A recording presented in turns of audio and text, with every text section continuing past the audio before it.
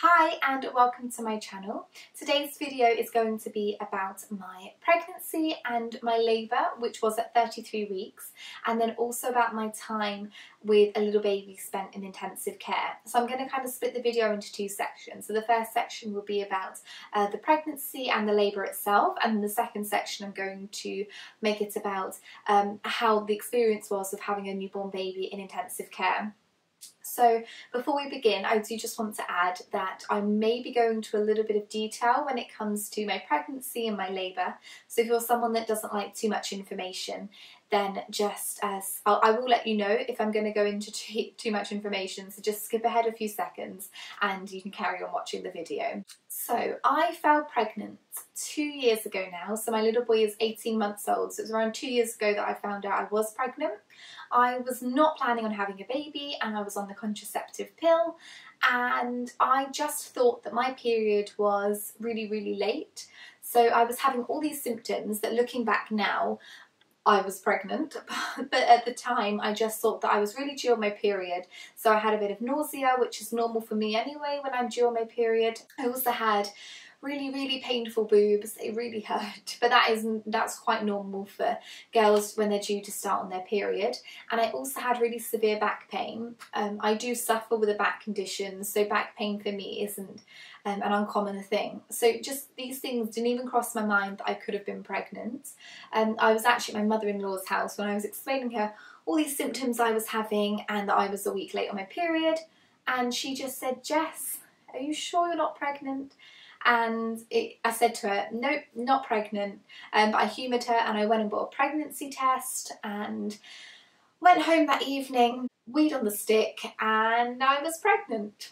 When the plus sign came up on the pregnancy test, I was in such a state of shock, as was my partner, because neither of us thought this was going to happen. Obviously, I was on the pill, um, but obviously it was meant to be. So we eventually we got excited about it and we were really really happy and excited to be having a baby. The first 12 weeks of pregnancy can be really difficult for women. It's normally the time where you feel most tired and you feel ill all the time. And luckily, I was really lucky in that respect. I did feel sick, but I was never sick once. However, I did suffer with really extreme fatigue and I was always so tired. And working in a restaurant when I'm on my feet all day, I did not want to go into work. I wanted to be in bed all day and also suffering with back pain um, I just wanted to lie down. Being on my feet is something I didn't want to do. Um, however, after the 12 weeks passed, my exhaustion left and I'd never felt better. I felt like I wanted to clean the house and prepare for baby and I was really excited and I just felt on top of the world. Um, so everything was going swimmingly, everything was healthy and normal. So when I was around 18 weeks pregnant, I started getting tightenings in my tummy and they were quite frequent and quite regular. So I contacted my midwife to talk to her about them and she said that they were Braxton Hicks. Um, but she asked me to come in anyway to get monitored um, as it was quite early to be experiencing them. Hicks are practice contractions. So they prepare your body for when you go into labour so your body sort of knows what to do when it comes to the time. And I was having them really regularly and they were quite painful actually and when I'm quite a small girl but when my when my uterus did contract you could really just see the outline of my uterus in my tummy which uh, freaked me and my partner out completely and um, seeing baby kick and things was a little bit odd um, so early on but I was experiencing these uh, Braxton Hicks from around 18 weeks until I gave birth at 33 weeks and I was being monitored for them. So weekly she would check on me and just do extra checks to make sure that I wasn't going into preterm labour. So another thing I experienced in my pregnancy, and this may be a little bit of too much information for some people, so if you don't want to listen, just skip ahead a few seconds. Um, but I did experience really, really watery discharge, which looking back now, I think may have been my waters and could have been a slow leak. And however, I never had an internal examination, so I can't be sure of that. So now we've spoken about my pregnancy, I can now talk about my labour. So I have some notes on my phone because it was 18 months ago. Um, so I wrote everything down so I don't forget anything because I'm hoping that this video will help other mums if they think that they're going into labour just like I did and I spent a lot of time on YouTube googling and what, what would happen if I gave birth now at 33 weeks and how my baby would be. So I really don't want to miss anything out. So on, I'll give you a few dates. So George, my little boy, he was due on June the 4th and on the 19th of April, which was the Thursday, I was at work doing a normal shift, standing on my feet all day, and again, too much information, so skip ahead if you want to, um, just a little bit, but I actually was standing up and I felt something in my knickers, and I went straight to the toilet and saw what I had thought I had lost my mucus plug. And now your mucus plug sits in your uterus, which sort of protects the waters and the baby. And when you're due to, or normally when you're close to labour, you'll lose your mucus plug and normally have a bloody show. And um, sometime in a few days later, a few hours later, you may have a baby. Um, so at 33 weeks, I went into a bit of a state of panic, especially being at work. So from work, I called my midwife to tell her what I thought that I'd lost my mucus plug, and she told me to go to the hospital to get checked out. And whilst I was there, I had an examination, and they also did a test to see whether I was likely to go into preterm labour within the next seven to ten days and it came back negative and they just said your mucus plug can actually grow back and I hadn't lost much of it and there was quite a lot of it still in there so not to worry, to go home, to rest and just carry on with pregnancy as normal. So that's what I did. Didn't go back to work that evening, took a night off, but I did go back to work the following day and did a double shift. Um, I still had seven weeks to go until I, and I was planning on working up until about 38, 39 weeks anyway. Um, so I went back to work on the Friday, everything was normal. And then it was on the Saturday, so the 20th, uh, nope, the 21st, sorry. So I had the 21st off work, went to bed that evening, and it was about 10 pm at night that I was lying down. And again, too much information, but I felt a trickle of water, I guess, in, in my underwear. So I sat up, went straight to the toilet, sat down, and some more liquid did come out of me and I wasn't really sure what it was. So I called my partner in, we discussed a little bit and we decided that we was going to call the maternity ward but being 10pm at night it was closed so I actually called the labour ward and the midwife there actually questioned me if I hadn't just peed myself um, and I said to her, I'm pretty sure I'd know if I had wet myself. Um, I definitely think that it is my waters. Um, so she told me to come up and have an examination done. So we quickly ran around the house, packing everything that we could for baby. We didn't even have everything. I didn't even have his pram. Um, let alone clothes that would have fit him. I packed loads of clothes for myself. I'm sure we missed so many things and my partner had to go home quite a lot to get things. But we put the car seat in the car, made sure we have everything. Not that he would have been coming home at 33 weeks anyway, but um, in a state of panic, you just sort of rush around and you don't really know what you're doing. Um, so I got in the car, was having contractions actually, um, very similar to the Braxton Hicks contractions that I've been having since I was 18 weeks pregnant. So they weren't particularly painful, they were just a bit uncomfortable and they were happening I would say every around three minutes and lasting for about 30 seconds. Um, so when we arrived at the hospital, from the car park it is actually quite a bit of a walk to the labour ward. So you have to go through the main entrance around the hospital and then up some stairs or in the lift up to the labour ward and so it was about a 10 minute walk and I'm pretty sure that that 10 minute walk made my waters break even more because I was still losing a lot of fluid. So when we arrived at the hospital and I got checked in and had a gown put on and we got given a room, I was having an internal examination to check whether my waters had gone or hadn't and they confirmed my waters had broken and whilst they were obviously, I think it's because when they were internally examining me, it must have broken my waters even more. So as soon as I stood up, everything just came out and there was so much water and I had no idea that there would have been that much water inside of my stomach because it just kept pouring out of me and I went through probably so many sanitary towels in my underwear because they were just getting soaked through so so quickly. So I was hooked up to a monitor and this monitor was measuring my contractions and it was also measuring the baby's heart rate. So I was having contractions. They were around every three minutes for about 30 seconds a time. Again, they weren't really that painful. They were just uncomfortable. So I ended up actually being on this um, machine for about 24 hours. So I went into the hospital about 11 p.m. Saturday night and I gave birth again 11 p.m. the following day. So I was probably on the machine for about 22 hours, so pretty much the whole day, um, which was really uncomfortable. So because I was 33 weeks and five days pregnant at the time, they weren't sure whether to induce me or just see what happens and ride it out. So I was 33 weeks and six days. They induced me anyway, so they put a pessary in which is really painful by the way. I don't know if any of you have ever had one before, I'm sure you have, but it was incredibly painful and I actually needed gas and air, so I'm not sure how I would have been if I had to give birth naturally. Um, but it was not enjoyable. So once they had decided that they did want to induce me, they gave me some steroid injections in my leg, which um, strengthened the baby's lungs because obviously they're not going to be fully developed yet. He was being born around seven weeks early, so they, he needed all the help he could get. It was really impossible to sleep or do anything really when you're hooked up to this machine.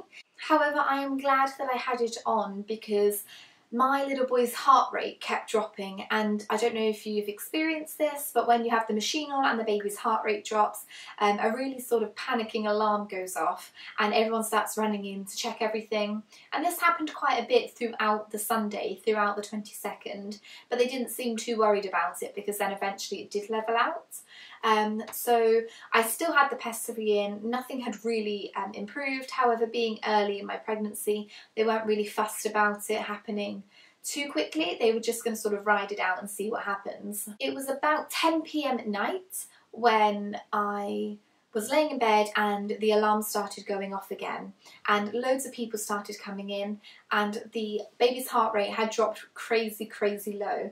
So they decided there and then I was going to have a cesarean section and it was too late to give me a epidural. So they put me under general anaesthetic and that was it. So they I, I just remember them taking the pessary out whisking me onto a bed, putting me in a, in a surgery gown, wheeling me round to the room. I remember looking back and seeing my mother-in-law and my partner crying, which made me cry and panic even more.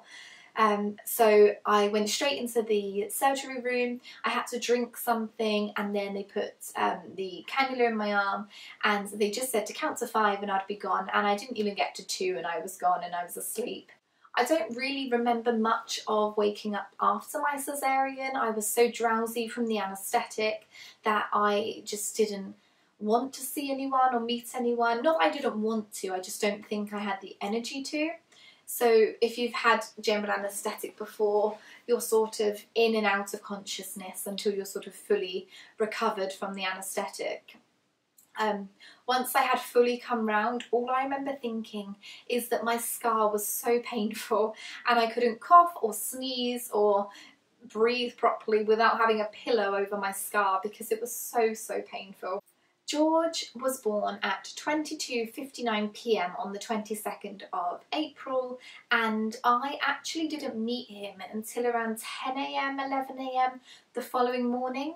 I was so exhausted from being in being in labour basically for two days beforehand and not having any sleep, but then also having the anaesthetic, which makes you really sleepy anyway. So when I had fully recovered and came round from that, um, I went in a wheelchair and my partner wheeled me round to meet our little boy who was in intensive care and he was so tiny. He was actually quite a healthy weight considering how early he was, so he was 4 pounds and 13 ounces, um, which considering isn't actually that small, but he did look tiny. So George was in the high dependency unit for about 48 hours and this is where he first had all his cannulas put in, he had his feeding tube put in, he had his bloods taken, he had um, a breathing mask on for a little bit. So he had all these things on for our 48 hours until his body was stable enough to come off all these monitors um, and go into just the intensive care unit where lots of other babies go just to sort of get strong enough to come home. So after those 48 hours, he moved into the intensive care unit where he was off the breathing machine. He was still in an incubator. He still had his temperature gauge on. He did have a feeding tube, so he wasn't old enough yet to feed from a bottle, so he was fed through a tube. I was in hospital for three days after my cesarean section and I kind of didn't want to go home because I wanted to be in the same hospital where my child was. And it was a really difficult thing when I was strong enough to come home after my cesarean section and go back home. But leaving the hospital without your baby was just a really weird experience and sort of coming home and not having your baby there going into the nursery not having your bump anymore but there also being no baby um, so we spent every day in that hospital. The whole time he was there from about 8am until about 8pm in the evening. And it is even though you're just sitting by your baby's bedside it is such a draining experience so as I mentioned, George had a feeding tube in, so we did try and start, well for the first few days he was fed through a tube, so the tube went in his nose, down his throat and then into his tummy. He had his feeding tube in for around a week. And from about the three day mark we started trying him on a bottle, just a really small bottle that they have at the hospital for premature babies, but he picked up on it so amazingly well so quickly. Um, it was just such a good improvement. So when we was when he was put in intensive care, we asked the doctors what was going to be the realistic time that he was going to come home, and they said they were aiming for his due date. In the back of my head, I thought that's six weeks away. I can't wait until then to bring my baby home. Um, but he surprised everyone. They said he wouldn't start drinking out of a bottle straight away, but he did, and he really shocked everyone. And once he'd got the hang of it, he didn't stop. He was in the incubator for around a week or so, so he couldn't maintain his body temperature outside of the incubator because of him being so premature. So he was left in the incubator uh, for around a week until his temperature stabilised. When he came out of the incubator, he was just put in, in a ordinary cot and he was monitored for 24 hours. Uh, his temperature was monitored for 24 hours to see if it remained stable so he didn't have to go back in the incubator, which he didn't, which was great relief because it was just another thing, it was another step closer that he was building up his strength and it was a closer time that he'd be able to come home. So about a week into his intensive care stay, he started to look a little bit yellow and um, it's not uncommon for babies to look yellow when they're born, something called jaundice. So a lot of babies have slight jaundice when they're born. However, when they're constantly in the hospital and they're being monitored, they're constantly having blood tests and things to see how high the levels are to see whether they need any treatment. So they would do a prick on the baby's foot where they would take some blood, go away, measure it, and if the levels came back high, then they needed treatment, and if they were lower, they didn't need it. And he was being monitored every day for this and they were always lower. However, a few, about a week in, his levels started creeping up just a little bit. And it was around the a week and sort of two day mark that his levels were quite high. So he had to be put under a blue light, which was a really horrible sight to see. So he was sort of back in like an incubator style thing, which had sort of blue lights all above it, really, really bright, bright blue lights. And because it was so bright, he had to wear a mask over his eyes. And it just, it, oh, it was such a horrible feeling knowing that my baby had like a sleep mask on over his eyes and couldn't see anything. And it worries me how scared he must have been because he was just lying there under this light. We wasn't allowed to touch him because we couldn't open the incubator. And he was in there for about 24 hours which in the grand scheme of things isn't a long time compared to what some other babies go through. And we were really really lucky. Um, but after the after he had had that his jaundice levels had come down and he was able to come off the lights. So around the 13 day mark, the doctors asked if we wanted to come and stay in one of the family rooms they had, which we could stay the night, have George in with us, which was a really exciting thing. We could have our baby in the night with us where I could get up and do night feeds. Never thought I'd be excited to get up and do a night feed, but I was really, really excited to have him with us. However, it was nice to know that the doctors were still there. He was still hooked up to his machines because he had to be in the hospital. And if something went wrong, the doctors would be in there straight away to look after him. Luckily, nothing went wrong, everything went smoothly, and the next day we were ready to take him home. So, when it came to taking him home, there was a lot of paperwork that needed to be filled out, final tests that needed to be completed. George had to have a final few more blood tests, he had to have a hearing test done, he had to have all like his temperature done and his blood pressure and things. Um, and then also be signed off by the doctor, which took a really, really long time. And we put him in the car and we went home and so he came home when he was two weeks old, so gestationally he was 35 weeks and six days old, um, so still really small, shouldn't have been born. Um, and yeah, that was my experience of my pregnancy, my labour and the in intensive care. And I hope that this video will have helped some women who may, like me, lost my plug a few days before giving birth and spent their time googling what will happen at 33 weeks if I gave birth now. So I think in my next video I will show you my little boy George who like I say is now 18 months old. He is such a cheeky little chappy and I love him so much. He is really the best thing that's ever happened to me. So thank you so much for watching this video. I hope it helps people um, and I look forward to seeing you in my next video. Thank you. Bye.